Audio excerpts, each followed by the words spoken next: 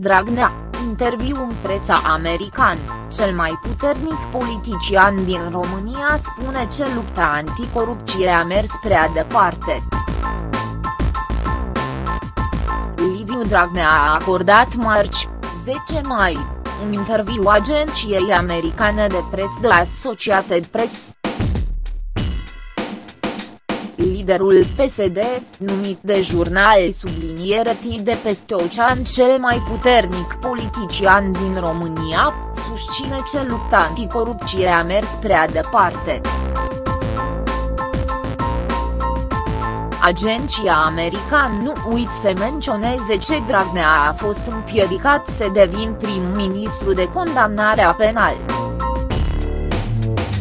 Liviu Dragnea subliniere full Partidului Social Democrat, la guvernare în România, a declarat într-un interviu pentru The Associated Press ce după ce ani de rândul politicienii se cepau după ce l-au mit, Agenția Anticorupție din România a mers prea departe în urmărirea oficialilor guvernamentali suspectați de luare de mit, abuz în serviciu sublinierei alte fapte ilegale se arată în articolul din presa americană.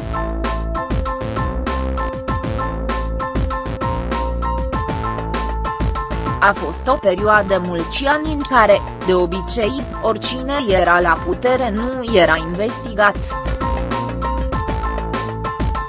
Am ajuns acum în cealaltă extrem, unde toți cei din clasa politică ar trebui acuzați, urmăriți, investigați sublinierei trin sublinierei în judecat, a declarat Dragnea.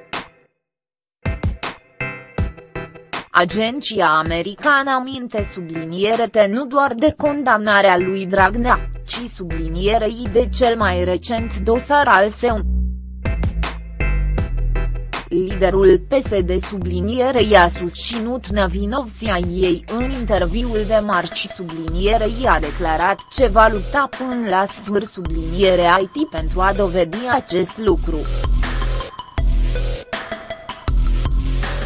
În schimb, Dragnea a refuzat să comenteze pe tema unei eventuale candidaturi la alegerile prezidențiale din 2019,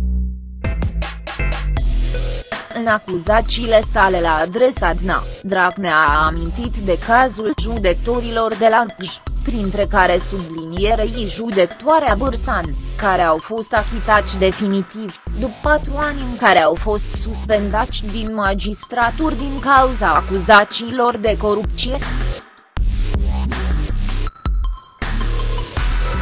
Cine le va da acei ani înapoi, a afirmat liderul PSD.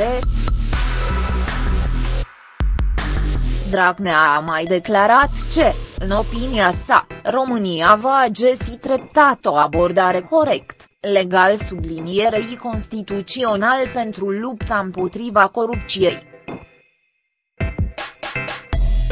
De Associated Press aminte subliniere de tentativa PSD de schimbare a legii penale, prin 13, care a dus la proteste de strat de amploare cu referire la legile justiciei, Liviu Dragnea spune că Uniunea Europeană sublinierei diplomacii au examinat proiectele sublinierei au ajuns la concluzia ce nu afectează independența sistemului judiciar.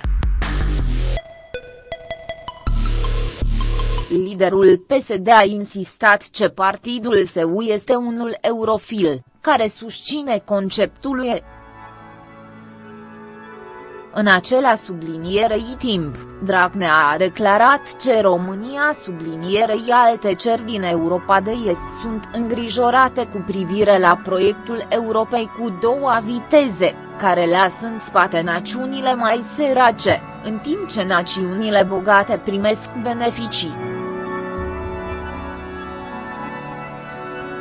Liviu Dragnea le-a spus jurnal tilor americani ce românii nu ar trebui să uite beneficiile sublinierei fondurile care vin la pachet cu apartenența la UE.